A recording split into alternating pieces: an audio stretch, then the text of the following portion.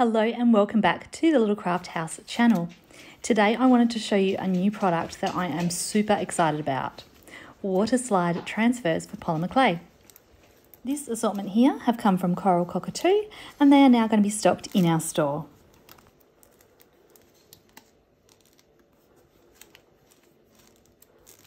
So we're going to get straight into things here by conditioning up some white polymer clay.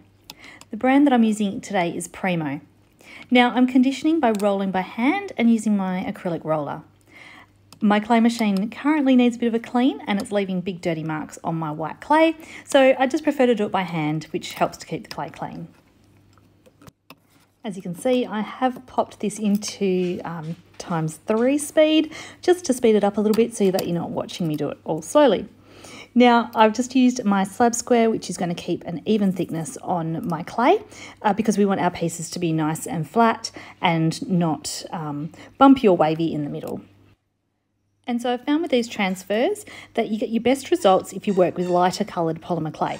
So I'm going to cut out a bunch of blanks now from this white clay um, and I find that simple shapes do work best. The rainbow here did prove slightly trickier to use uh, just because of that internal arch.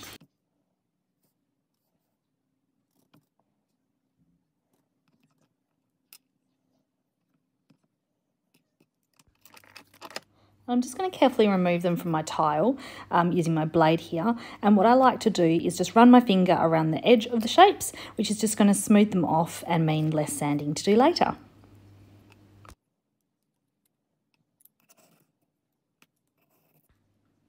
And we're going to need to bake up these pieces. So I'm going to pop them into the oven for about an hour or so, just until they're fully cured.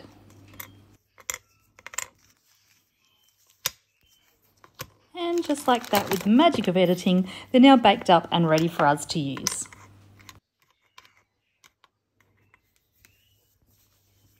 Now, unfortunately, because of the time of day that I'm filming this, I have a bit of an annoying sunbeam coming through my window here, um, but we are going to use this to our advantage in just a minute. Firstly, though, I do have to choose which design I'm going to use, and this can be one of the hardest decisions of my day, picking which ones I like best because um, I actually like them all. So yeah, I think I'm going to go with the Monstera and this really cool little tiger print.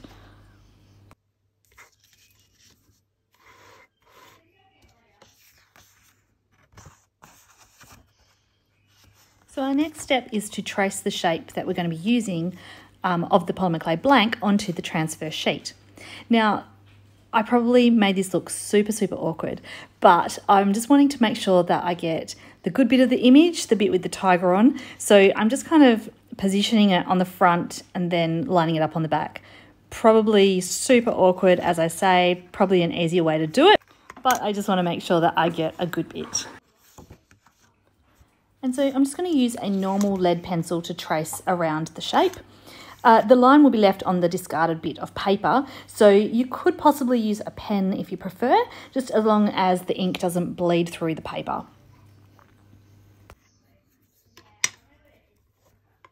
And this is where I'm going to use that sunbeam to my advantage, and I'm just going to check to make sure that the part of the image I want is within that bit that I've traced.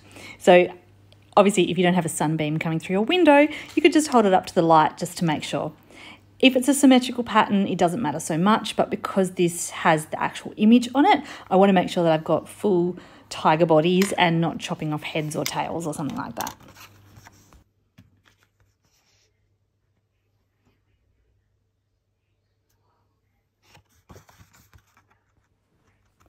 And so just cutting out now using a pair of nice and sharp scissors. Sharp scissors will give you a nice clean cut, which is what you want.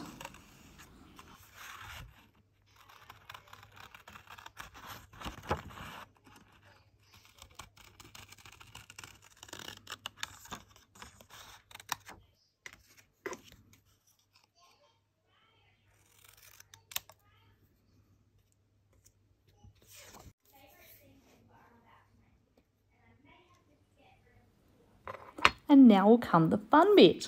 So we need to place our transfers into a bowl of water, um, ensuring that it is fully submerged. So sometimes it flips up a little bit, uh, curls up a little bit like what just happened. Um, sometimes they even make a cute little squeaking sound. Um, you just need to make sure that they're flattened out and that the whole thing is underwater. So I just go back occasionally and just make sure that it is nice and flat and just leave it in there for a few moments. It usually takes about two to three minutes for it to be ready and you'll know that it's ready because you'll see the side of the image will start to separate from the backing paper. In the meantime, I'm just going to start prepping my next pieces um, so that they are going to be ready to go. And again, I'm just going to do this in sped up time so it's not so boring for you to watch. Now, I do hate to see waste when it comes to these sorts of images. So I'm making myself a little pile of all those little bits from around the edge of the circle, uh, bits that are going to be too small to be usable. I'm going to pop them to the side and I've got a few ideas of things I'm going to use them for. But um, yeah, I need to save up some pieces first. So if you do follow me over on Instagram, when I've got enough pieces, I'm going to do some things over there with them. So keep an eye over on Instagram for that. Okay, so the transfer's looking ready. Just that little bit of pressure there just moved it, which showed that it was releasing from the paper. I'm going to pop it on top of my blank here and very gently just remove the paper from underneath. Now this can get a little bit slippery and fiddly, so just be really careful when moving the transfer so that it doesn't move out of position. I'm just going to smooth it off a little bit as well, just making sure that there is no trapped air or trapped water um, between the image and the uh, polymer clay blank. And so once I've prepared all my paces, so I've transferred all the images over onto my polymer clay blanks, I'm just going to set them to the side for probably 15 or so minutes just to try and allow the water to absorb, just to um, disappear. Uh, and then we need to pop them back in the oven for about another 15 minutes. When we do that, that is going to I suppose, kind of melts the transfer onto the polymer clay, and that will mean that it will stay on properly. Um, it adheres to it, and yeah, can't be easily removed then.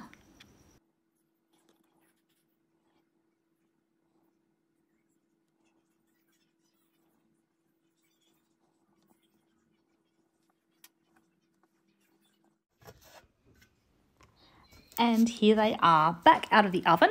Um, so at this point is where I realized that I'd made a bit of a mistake. And in between the process of tracing my shapes onto the transfer paper and then putting the transfers onto the polymer clay, I should have sanded and cleaned up my polymer clay blanks.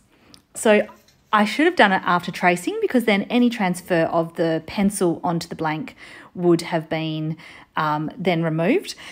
But I forgot to do that. I was just trying to get it done before the sun went down too much and it got too dark in my workroom to show you. So anyway, we can still work with this. This is fun. So now they've adhered to the polymer clay, I am going to have to give them a little bit of a clean up. But while giving it a sand, I just need to make sure that I don't disturb the sides of the image too much that it's not going to lift back up. But I'm just going to be gentle, so it should be fine.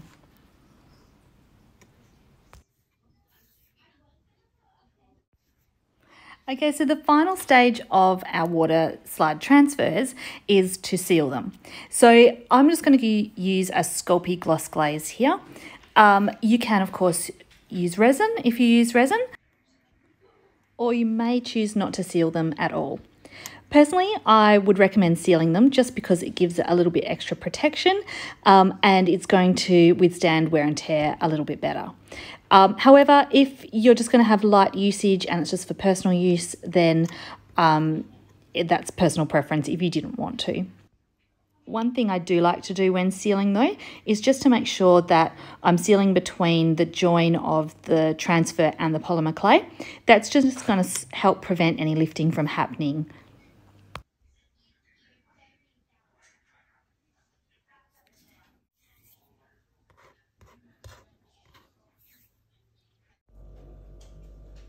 And there we go. These are my finished components. So I haven't made them into earrings yet, but I just thought I would show you them at this stage. Um, the gloss has now dried on them. They are ready to be drilled and yeah, made into some earrings. So I'd like to thank you for joining me today in learning how to use the water slide transfers.